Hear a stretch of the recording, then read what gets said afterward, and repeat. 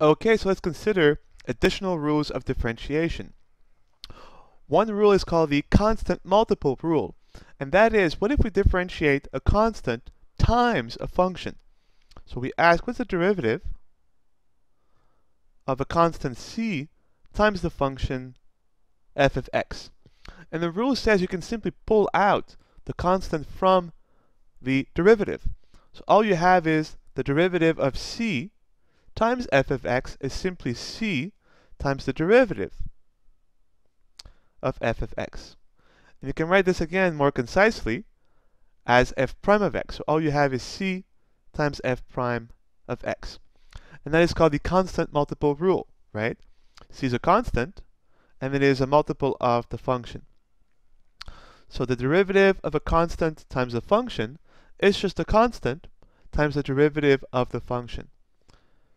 Let's look at some examples of this with the power rule and then with the sum and difference rule.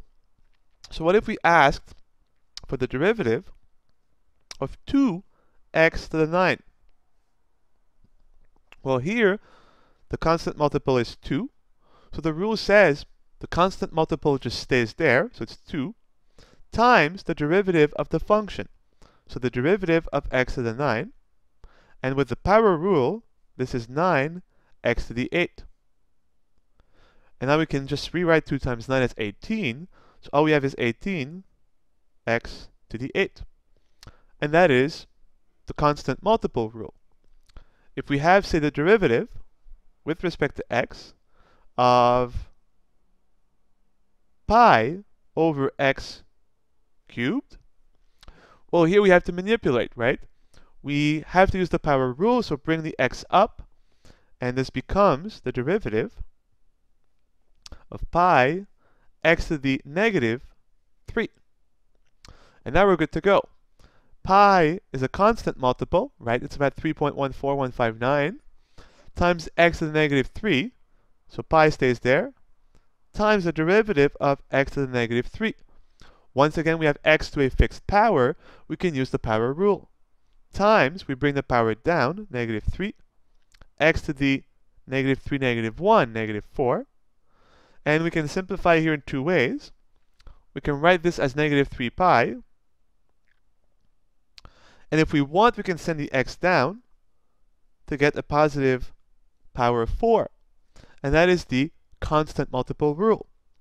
Let's now include this with our power rule, our sum and difference rule, and the constant rule in one example. What if we asked for the derivative of the following function? So d over dx of, let's go with 2 thirds x to the 6 minus 5x plus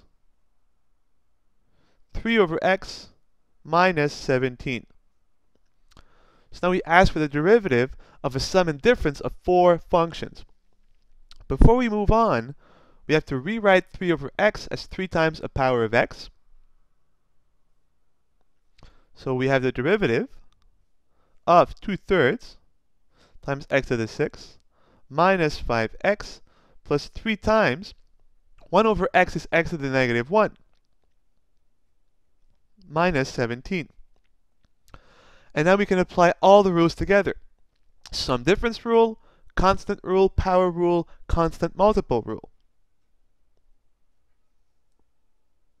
So the first term, derivative of 2 thirds times x to the 6. 2 thirds is a constant multiple, so it just stays 2 thirds, times the derivative of x to the 6. We now use the power rule. We bring the power down, x to the 6 minus 1 is 5, and that's a derivative of the first function, minus 5x. Well, 5 is a constant multiple of x, so it stays 5, and the derivative of x is just 1, right? This is, if you think of it, you can think of it in two ways. If you think of the power rule, d over dx of x, x is x to the 1, well, you bring the power down, so you bring 1 down times x to the 1 minus 1 but that's just 1 times x to the 0, and x to the 0 is equal to 1. So all you have is 1 times 1, which is 1.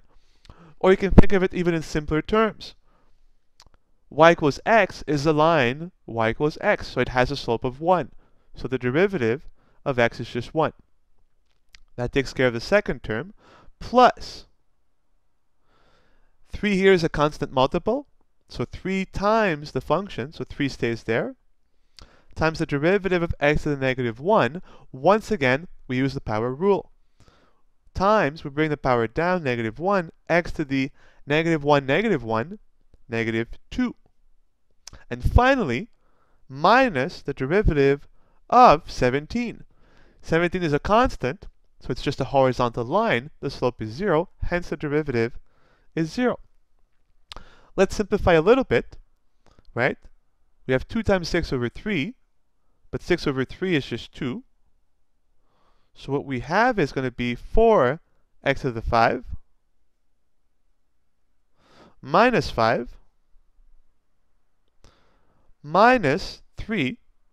And you could leave 3x to the negative 2, or if you prefer to have a positive power, send the x down, and the negative power of 2 becomes a positive power of 2.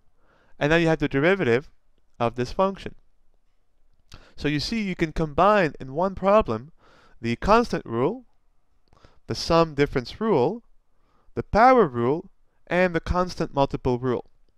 In our next video, we'll look at the product rule. So what if we have the derivative of a product of two functions? And also the quotient rule. What if we have the derivative of a quotient, of a division of two functions?